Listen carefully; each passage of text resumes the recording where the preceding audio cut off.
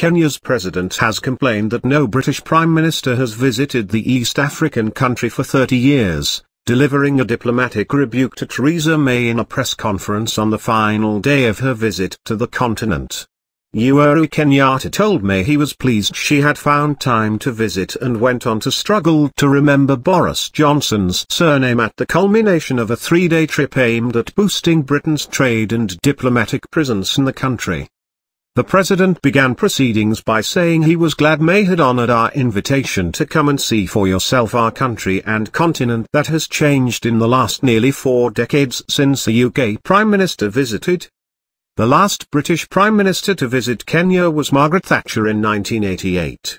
Since then, despite historic links between the two nations, the East African country has increasingly turned to China and the US for support and investment.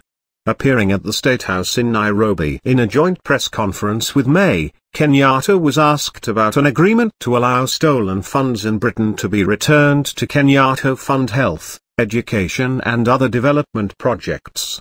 He said, last year, if you recall, the Foreign Secretary, then Boris, M. Boris, Boris Johnson, the bicycle guy. Boris Johnson was here with ambulances, these ambulances were bought courtesy of funds that had been seized, returned and utilized to buy ambulances which were distributed across the country. I believe this only strengthens that and the ability of our two countries and legal systems to be able to work together to ensure that any assets that may have been acquired in the United Kingdom, that are associated with corruption or any other such crime, are successfully returned and put to use for the benefit of the people of the Republic.